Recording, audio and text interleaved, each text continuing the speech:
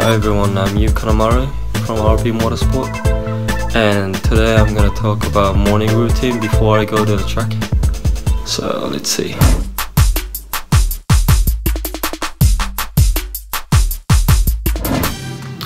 Uh, first I usually brush my teeth and take a shower and quite normal stuff. And then I go to breakfast. And then I take a shower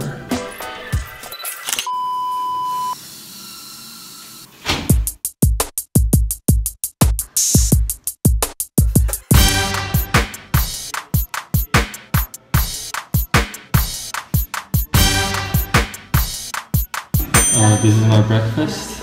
Uh, bread and yogurt, quite normal, with a uh, of breakfast steam.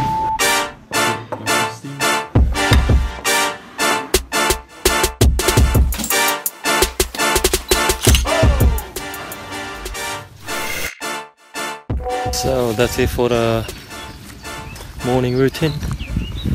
See you guys on the track then.